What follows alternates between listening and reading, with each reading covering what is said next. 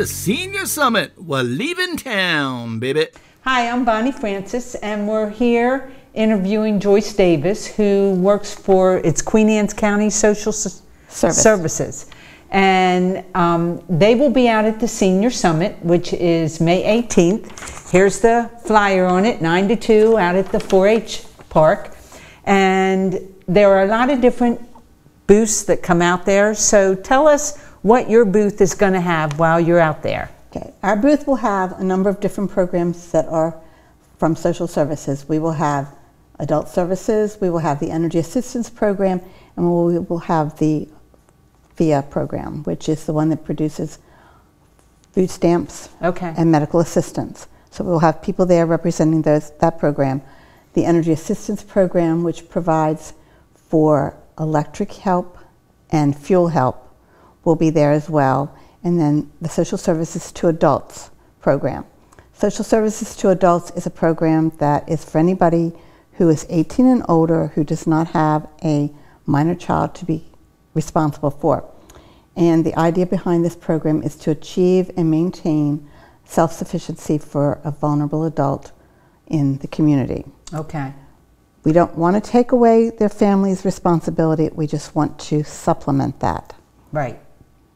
So tell us uh, at the booth itself, will there just be flyers? Will there be counselors? I mean, sometimes some of those programs, just like energy efficiency, there's forms to fill out. And older adults Right. need help understanding what information you need. We will have um, the forms for energy assistance. The summit will be actually towards the end of our program year for energy assistance because the last day to apply for help with your electric will be May 31st. Okay. And at the time of the summit, we will be at the point where if you want to apply and you need to apply, you will have to bring in that application with all of the needed documentation, which would be social security cards, any proof of income, your electric bill, so that we can process it that very day that you bring it in. But we will have people out there from that program who will be more than willing to help the so senior. they have a form that says all the things that Right. they need to bring, and then maybe they could make an appointment with your office the next week or. or they could actually just walk in. Oh, we, we'll okay. ta- we take walk-ins for that program. Okay. And if they come in, they have, especially if they have a cutoff notice, they need to come in with all that documentation so that we can go ahead and do the application and get it completed. If they've already applied for this year, which would be any time from July 1st of 2017 until now, Mm-hmm. then they wouldn't be eligible for any additional money until after July 1st of 2018. Okay. But- now, do they have to have proof of residency? They Is should it- I mean, is this just Queen Anne's County? Right, this, this is just in Queen Anne's County. The program is throughout the state, Right. but we only deal with people in Queen Anne's County. So yes, they would need like a copy of their lease or, um, you know, their tax bill or something along that line that would show that this is where they live. And and can they get that information on a computer?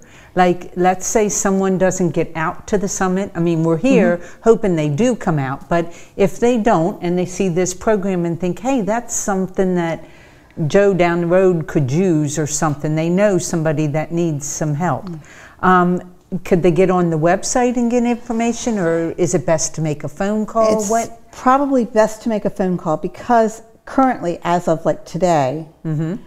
you can still get on a program called MyDHR, which is a computer program that allows you to apply both for food stamps and other programs from the FIA side and also for energy assistance. Okay. But after the 16th of May, they will shut down uh, in the computer system for energy assistance online, and you'll need to be able to come into the office or mail everything in to us. Okay. So Now, why don't why don't you tell people where your office is? Okay, we're located at 125 Comet Drive, which, if you know where the new YMCA is, we're right next door. Right. So, out there by Food Lion. Yeah. So we're right there, and By Queenstown Bank, you turn at the Right, light and- exactly. and head back. yes, we're back there. Um, our office is open from 8 to 4.30 every day, Monday through Friday. And there are people there at those hours to answer your questions and take any information that you have. And to help you fill out applications if you need that. We also, um, of course, there's, besides the food stamps, there's medical assistance applications that can be completed there for the uh, older adults, especially because there are some programs for older adults who have limited income to help them with the payment for their Medicare premiums. Oh, okay. Didn't know that. And um, depending on what your income is, it might pay your whole Medicare premium, it might pay your Medicare premium and your deductibles. It just, those two programs are very much based on your income.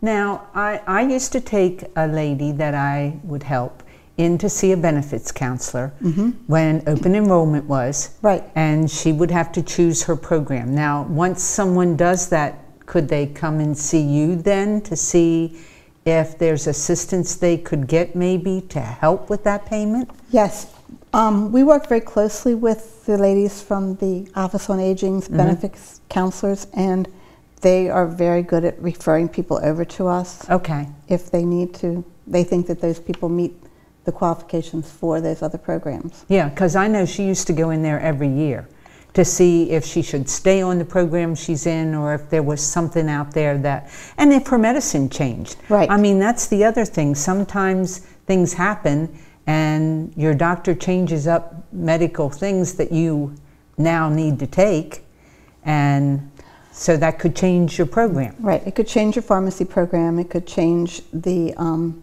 supplemental insurance that you have, because every year you need to reassess it. Um, Right. Is it the same way with food stamps?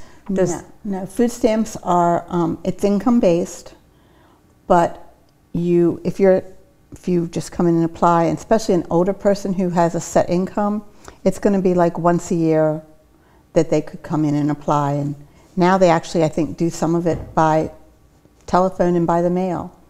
Really? So that's the way that's being done.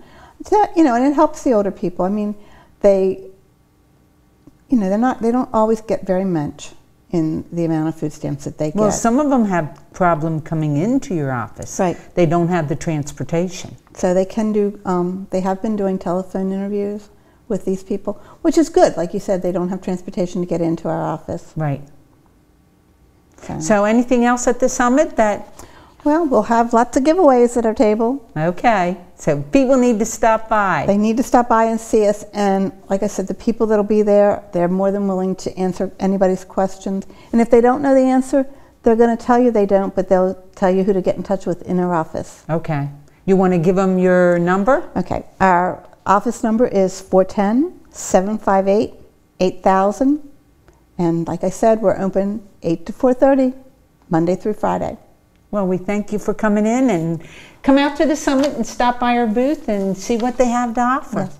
If you have any questions, you know, you can talk to them there. Yes, thank you for having us. All right, dear. Thank you. Thank you.